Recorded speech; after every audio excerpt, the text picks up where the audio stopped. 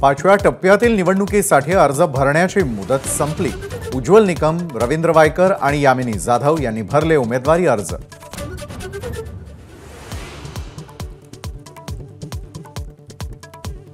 ठाण्याचे महायुतीचे उमेदवार नरेश म्हस्केने दाखल केला उमेदवारी अर्ज तर पालघरमधून डॉक्टर हेमंत सावरा यांनी अर्ज भरला.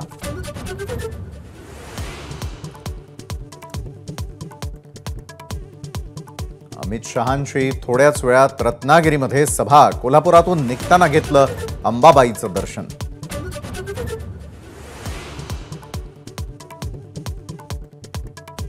रावसाहेब दानवेंनी घेतली अर्जुन खोतकरांची भेट. खोतकरांचे सर्व गैरसमज दूर. उद्यापासून ते माझा प्रचार करतील दानवेंचा दावा.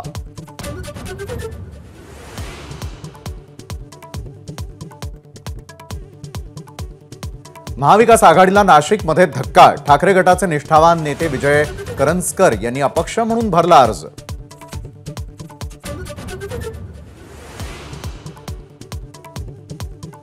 पवनराजे हत्येचा खटला. फास्ट ट्रॅक कोर्टामध्ये चालवून दोन महिन्यामध्ये सत्य समोर आणा. ओमराजे निंबाळकरांचं शहा फडणवीसांना आवाहन.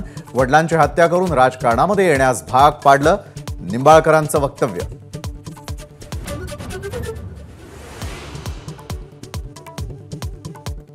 सुप्रिया सुळे यांच्या बारामतीमधल्या प्रचारामध्ये प्रतिभा पवारही उपस्थित. महिला मेळाव्यात आवर्जून सहभाग.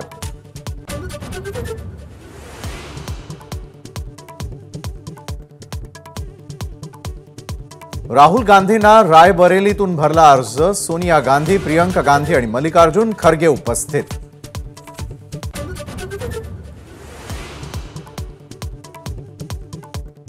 राहुल गांधींनी अमेठी मतदारसंघ सोडल्यावरून पंतप्रधान मोदींची खोचक टीका. राहुल सर्वांना म्हणतात घाबरू नका. आज मी म्हणतो घाबरू नका पळू नका. मोदींची टीका.